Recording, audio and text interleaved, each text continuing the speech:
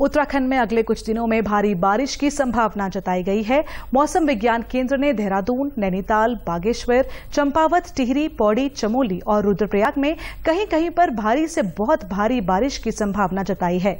मौसम विज्ञान केंद्र देहरादून के निदेशक बिक्रम सिंह ने बताया कि पहाड़ों में भारी बारिश के कारण भूस्खलन की घटनाएँ हो सकती हैं, इसीलिए सतर्क रहें।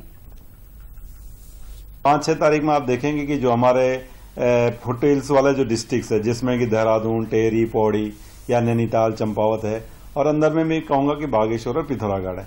तो जो ये फुटील वाले हैं, इनमें तो मैं कहूँगा हैवी से वेरी हैवी रेंज है, भारी से बहुत भारी वर्षा जो है, कल और परसों पाँच और छह तारीख में वो देखने को मिलेंगी।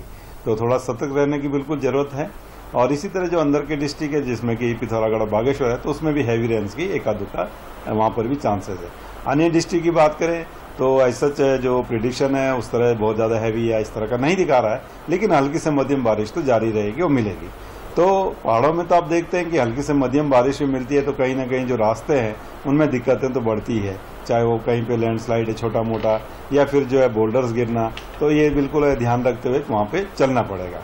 तो जो अभी दो दिन है, पाँच और छह में तो जो नीचे वाले डिस्ट्रिक्ट हमारे जो फुटिल्स के अलोंग के हैं, उत्तराखंड के तो उनमें उनमें एक्टिविटी अच्छी है।